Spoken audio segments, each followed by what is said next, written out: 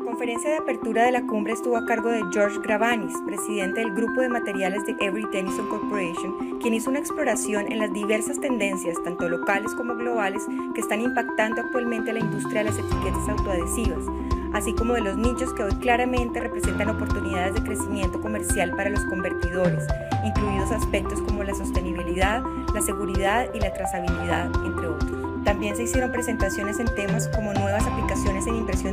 por parte del vanguardista grupo Ercos y un panel de discusión que involucró a líderes de la Asociación Colombiana de la Industria de la Comunicación Gráfica Andigraf, la Federación Internacional de Convertidores de Autoadhesivos FINAT y el Tax and Labels Manufacturing Institute.